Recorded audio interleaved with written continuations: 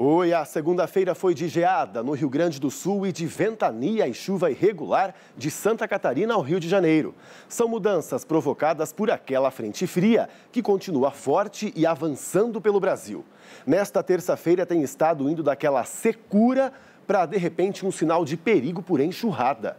Eu estou falando de Mato Grosso do Sul, que vai ter ventos de mais de 50 quilômetros por hora, além de muita chuva, com chances então para alagamentos e quedas de barreiras.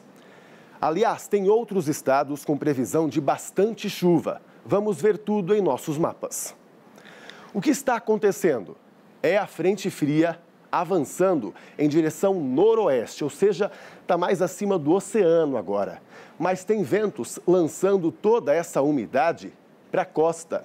E um espaço grande, hein? Que vai de Santa Catarina até a Bahia.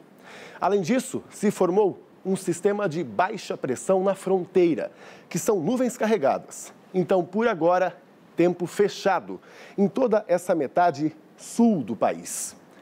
Bem no meio de tudo isso, está o Mato Grosso do Sul, então com um sinal de perigo, como a gente vê aqui pela cor roxa. E oestes paranaense e paulista com um sinal de alerta. E ainda tem chuva fraca no litoral do Nordeste e chuvas rápidas, com ar abafado, na região norte. Onde ainda tem espaço para o sol é onde a frente fria já passou, que é o Rio Grande do Sul.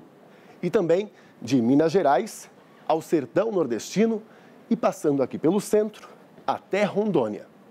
Tanto que nessa área continua o mormaço, com calor de 33 graus em Porto Velho, 34 em Palmas e 28 em Salvador. E também na metade sul, mais frio então, 21 em Campo Grande, 21 também em Floripa e 22 em São Paulo. Aliás, são Paulo tem um sinal de alerta para quarta-feira.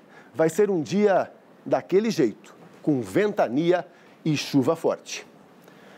Um bom dia para você, a gente se vê.